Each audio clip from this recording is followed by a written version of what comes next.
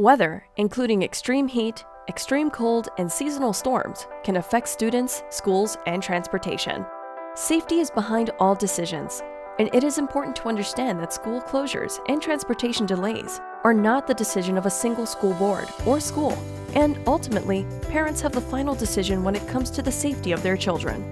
The decision to keep schools open, close schools, or delay transportation is a process that involves many factors and many people. A meteorologist notifies student transportation services of potential storm activity. So we hear there's a storm brewing. Now what? Transportation informs spotters across the district so they can get ready to report weather and road conditions. It is important to remember that the conditions on bus routes can vary across our large district. The weather may look fine and the roads safe in your area, but it could be less safe for travel on nearby routes.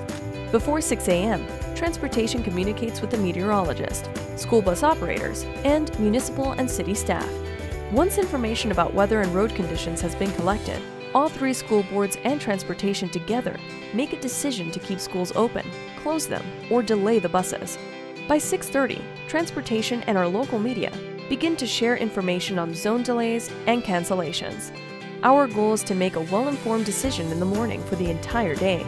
If we know that poor weather is on the way and that traveling home after school may be unsafe, transportation for the entire day is canceled. We aim to make decisions as early and as accurately as possible. With that in mind, families should ensure that there is a plan in place for child supervision in the event of transportation delays or school closures.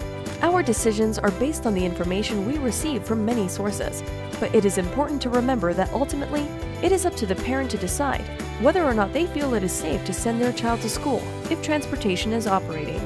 To ensure that you receive the most up-to-date information about transportation, including delays or cancellations, please subscribe to the Student Transportation Services web alerts or follow them on Twitter. For more information, visit stsbhn.ca.